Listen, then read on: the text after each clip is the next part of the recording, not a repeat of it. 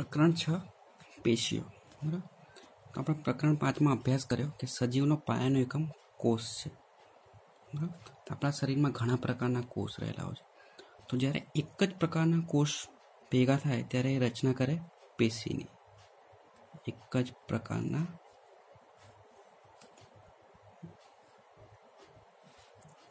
કોષો ભેગા થઈને પેશીની રચના કરે છે. તો સજીવનો પાયાનો એકમ છે કોષ અને એક જ પ્રકારના કોષો ભેગા થઈને પેશીની રચના કરે. બરાબર તો પેશી છે એ પર્ટિક્યુલર કાર્ય કરે. બરાબર છે? જેવી રીતે આપણા શરીરમાં છે, તો આપણા શરીરમાં સ્નાયુનું હલનચલન તો એ થાય સ્નાયુ પેશી દ્વારા. પછી આપણને કોઈ જગ્યાએ વાગે તો દુખાવો થાય, તે ચેતાપેશી દ્વારા આપણને ખબર પડે. બરાબર છે? પછી છે સંયોજક પેશી. એટલે આપણા શરીરમાં જે રુધિરનું વહન થાય છે એ છે. પછી પાચન થાય છે. તો રીતે ઘણી બધી પેશીઓ હોય છે. એ અલગ અલગ કાર્ય કરે. તો એમાં કોષો એક જ પ્રકારના હોય છે. ધારો કે આપણા બે હાડકા વચ્ચે જે સ્નાયુઓ છે, બરાબર? એ સ્નાયુ પેશી છે. તો બધા એક જ પ્રકારના કોષો હોય? પછી જે વનસ્પતિ, તો વનસ્પતિઓમાં પણ પેશીઓ હોય છે અલગ અલગ. એક છે અન્નવાહક પેશી. તે વનસ્પતિમાં બધા ભાગોમાં અન્નનું વહન કરે. પછી જલવાહક પેશી. તો જલ અને પ્રવાહી પદાર્થોનું વહન કરે. પછી છે મૃદુતક પેશી એ ખોરાકનો સંગ્રહ કરે. જેવી રીતે પર્ણમાં સંગ્રહ થયો હોય છે ખોરાક રીતે. પછી છે સ્થૂલ ખોરાક પેશી તો આપણે જોઈએ તો વનસ્પતિની ડાળને આપણે હલાવીએ. એટલે કે નમ્રતા આપે છે. પણ તૂટે નહીં અને નમ્યતા બરાબર? તે સ્થૂલ કોણાક પેશી આપે છે. બરાબર? તો આ રીતે વનસ્પતિમાં પણ અલગ અલગ પેશીઓ હોય છે, પ્રાણીમાં પણ અલગ અલગ પેશીઓ છે. તો આપણે આ બધું પેશીઓ વિશે અભ્યાસ કરવાનો છે અલગ અલગ અગાઉના પ્રકરણમાંથી આપણે પુનઃ યાદ કરીએ કે બધા જ સજીવો કોષોના બનેલા છે. બરાબર? સજીવ એટલે કે જે હલનચલન કરી શકે. માનવ છે, પ્રાણીઓ છે, પક્ષીઓ છે, માછલી, બધા સજીવો છે. એક કોષીય સજીવોમાં એક જ કોષ પાયાના બધા કાર્યો કરે છે. અમીબા છે તો અમીબામાં ખાલી એક જ કોષ આવેલો હોય છે. જેની અંદર પાચન ખોરાક, બધું જ કાર્ય એક જ કોષમાં થઈ જાય. યુવામાં એક જ કોષ દ્વારા ગતિશીલતા, ખોરાકનું અંતગ્રહણ એટલે કે ખોરાક બહારથી લેવો, શ્વસન વાયુઓનું વિનિમય એટલે કે ઓક્સિજન લેવો, કાર્બન ડાયોક્સાઇડ મુક્ત કરવો. શ્વસન અને ઉત્સર્જન. ઉત્સર્જન એટલે કે ખરાબ કચરાનો નિકાલ કરવો. તો જેવા કાર્યો એક જ કોષ દ્વારા થાય છે. પણ આપણે આપણા શરીરમાં જોઈએ તો શ્વસન માટે નાક અને ફેફસા છે. ઉત્સર્જન માટે પેશાબ, મળ. બરાબર છે? ખોરાકનું અંતગ્રહણ માટે આપણે મોઢું, ગતિશીલતા માટે હાથ પગ, તો બધા અલગ અલગ કાર્યો અલગ અલગ અંગો અને અલગ અલગ કોષો દ્વારા થાય છે. અને અલગ અલગ પેશીઓ દ્વારા થાય છે. પરંતુ બહુકોષીય સજીવોમાં કોષો મિલિયન્સના પ્રમાણમાં હોય છે. મિલિયન્સ એટલે કે લાખો. આ મોટા ભાગના કોષો વિશિષ્ટ પ્રકારના જૂજ કાર્યો કરે છે? પ્રત્યેક વિશિષ્ટ કાર્ય ભિન્ન કોષોના સમૂહ દ્વારા થાય છે. એટલે પાચન છે તો જઠરમાં થાય, બરાબર? કિડનીમાં મૂત્ર બને, બરાબર છે? હાથ પગ દ્વારા હલનચલન થાય, બરાબર? શ્વસનનું કાર્ય નાક દ્વારા. એટલે કે ભિન્ન કોષોના સમૂહ દ્વારા પ્રત્યેક કાર્ય થાય. આથી આ કોષો માત્ર એ નિયત કાર્ય કરે છે, બરાબર છે? જઠરના કોષો છે પાચન જ કરશે, એ શ્વાસનું કાર્ય ના કરે? તેઓ તેનું કાર્ય પૂર્ણ ક્ષમતાપૂર્વક કરે છે. માનવમાં સ્નાયુ કોષો સંકોચન અને શિથિલનને લીધે હલનચલન પામે છે. તો આપણા બધા હાડકામાં હાથ, પગ, બધે. તો અહીંયા જે છે, આ વચ્ચે એ એ છે સ્નાયુ પેશી. આ છે સ્નાયુ કોષો અહીંયા. એક જ પ્રકારના સ્નાયુ કોષો બનીને બને સ્નાયુ પેશી.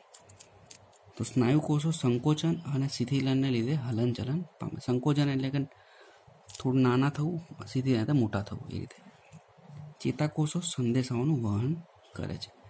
તો ચેતાકોષો છે, એ આપણા શરીરમાં આપણને કંઈ વાગે કે કંઈક થાય, તો આપણને જે દુખાવો થાય છે, તે ચેતાકોષો દ્વારા આપણા મગજને પહોંચે. આપણે જ્યારે બેભાન કરે ત્યારે શું કરવામાં આવે છે? એ ચેતાકોષોને બેભાન કરી દેવામાં આવે, નિષ્ક્રિય. એટલે જે આપણને વાગ્યું હોય કે દુખાવો થતો હોય, જે ભાગે ઓપરેશન થતું હોય, તે આપણા મગજને ખબર ના પડે. તો ચેતાકોષો છે, સંદેશાઓનું વહન કરે. રુધિરના પ્રવાહ દ્વારા ઓક્સિજન, ખોરાક, અંતઃસ્ત્રાવો અને નકામા દ્રવ્યોનું વહન થાય છે? તો રુધિર છે, તો આપણા જે ઓક્સિજન લઈએ છીએ શ્વાસમાં, એ લોહીમાં જાય છે સીધો અને લોહીથી બધા શરીરમાં બધે પહોંચે છે. અને ત્યાં કાર્બન ડાયોક્સાઇડ બને, શક્તિ થાય અને કાર્બન ડાયોક્સાઇડ. કાર્બન ડાયોક્સાઇડ ફરીથી પાછું રુધિર મારફતે ઉચ્છ્વાસ દ્વારા આપણે કાઢીએ છીએ. તો રુધિર છે ઓક્સિજન, પછી ખોરાક. એટલે કે જે આપણે ખોરાક ખાધો, એમાંથી જે પોષક દ્રવ્યો છે, શોષણ કર્યું, એ પણ રુધિર દ્વારા જ વહન પામે શરીરમાં. પછી છે અંતઃસ્ત્રાવો. બરાબર છે?